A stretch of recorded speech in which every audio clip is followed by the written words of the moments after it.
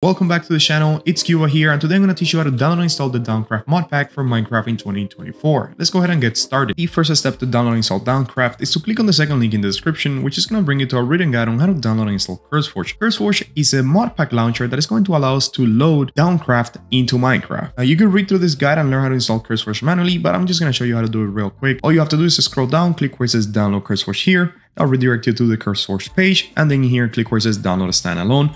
Of course, you could always click where it says download options right here, more download options and download it for Mac or Linux, but we're gonna download this standalone for Windows right now for this video. Once the installer downloaded, go ahead and drag and drop it into your desktop and now just launch the installer by double clicking on it. Once you open the installer, this is what it's going to look like. Just go ahead and click next. Of course, you could change the language, but I'm going to leave it on English and go ahead and click next. Select that you accept the terms in here. You could change the installation folder, but in order to do that, you have to launch the installer as an admin. So you have to right click and launch as an admin. We're just going to click that we accept the terms and privacy policy and then click next and wait for CurseForge to install in here. Shouldn't take that long. And while CurseForge is installing, I want to let you all know about today's sponsor Apex Hosting, there is still time to get 25% off your first server with Apex Hosting using the first link in the description. A server that is open 24-7. You could create either a Java or a Bedrock server. Have your friends join at any moment because this is a server that will be hosted completely online so you don't expose your IP address or your computer resources. This is a server where you could install mod packs with just one click, which is really useful, especially when we're installing a mod pack in this video. I'm going to leave that first link in the description and now let's get back into the tutorial. And as you can see, CurseForge has finished installing. It just opened. That probably happened because I already had CurseForge installed. However, since this is the first time you're installing CurseForge, it's going to ask you to launch it and then you're going to have to launch it. And once it opens, it's probably going to offer you a little tutorial, which you could skip.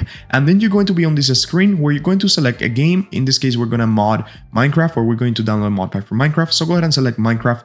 Then they'll put you over here. And now go ahead and head over to browse. Once over here in the browse section, of course, you could scroll down until you find DawnCraft. Sometimes you'll find it in here. As you can see in here, you can find it. Or if you don't see it in here, you could always click on the search for Minecraft project bar and then type DawnCraft, press enter, and then you have to get DawnCraft Echoes of Legend. Echoes? Is it Echoes or Echoes? I don't know, my English sucks. It's this one right here by BSTYLIA14. All credits to the creator. This is a great mod pack actually. So yeah, all you have to do now to install is click where it says install. The mod pack will begin to install and you could always find it here where it says my mod packs. Now something to keep in mind is that every time you want to play this mod pack, you're going to have to launch the CurseForge app. You won't be able to open this through your regular Minecraft launcher. As a matter of fact, Whenever we try to play this mod pack right now, this is going to open a different Minecraft launcher. It looks the same as a regular Minecraft launcher, but it is like a separate instance that launches through CurseForge. When we launch that second Minecraft launcher through CurseForge, it's going to have us log in with our Minecraft account. Don't worry, this is totally safe to do, and this is something that most modpack launchers will require you to do. Even if you install a modpack through Modrinth, you're still gonna have to follow the same process.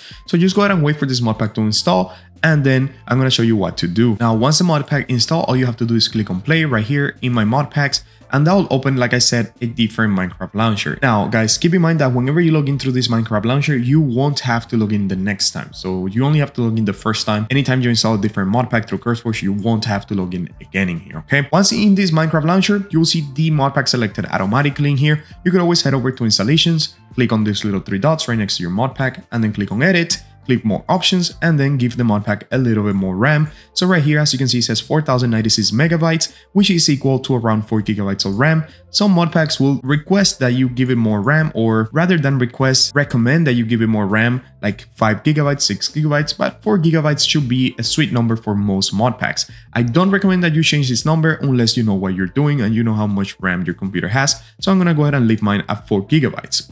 Let's go ahead and head back into here and to play this mod pack all we have to do is click on play and click that you understand the risk, click play again and wait for the mod pack to launch. Once you're here in the main menu, just go ahead and launch a world by clicking single player, then name this whatever you want and create the new world. There's actually a multiplayer server pack, so you could actually do a server for DawnCraft by downloading that multiplayer server pack from CurseForge. If you would like a dedicated video for that, let me know down in the comments and if multiple people request that video, that might be a video that we do in the future. Let's go ahead and wait for this world to create and I'll see you inside the game. Alrighty guys, so the world just loaded and as you can see we're here inside DawnCraft and there's a snake behind us. But yeah guys, that is pretty much how to download and install this mod pack. I hope you enjoyed this video and you were able to install DawnCraft. Don't forget to subscribe and as always, bye bye.